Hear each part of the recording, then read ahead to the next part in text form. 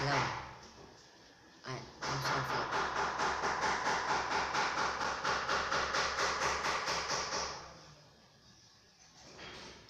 um is it just me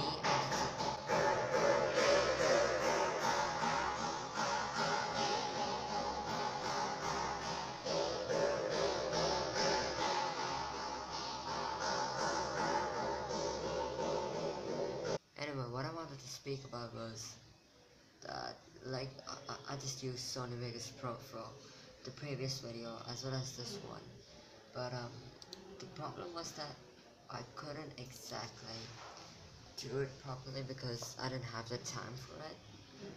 Moreover, I, I didn't, I didn't get the time to upload it even, so it was really late, for which I think no one could care less. Who cares about my videos? No one watches. I've seen the review count. They keep going up and down. One time I got 15 views on the video, and the next video had just 4 views. I, I think it's 3. It's really weird how this works. You'll never know what's gonna happen next. Anyway, so I wanna play Mirror's Edge today, but I recorded the whole thing. My camera was so dark I couldn't see anything. I don't know why my camera keeps changing the shaders for some reason, for which I'm really annoyed because I recorded half an hour of gameplay to find out that it wasn't gonna work. How would you feel if I told you that you just worked hard on a project for half an hour and it didn't work at all? I mean, half an hour is a really small thing, but when you get time, it's, really a big thing, okay? It makes you happy.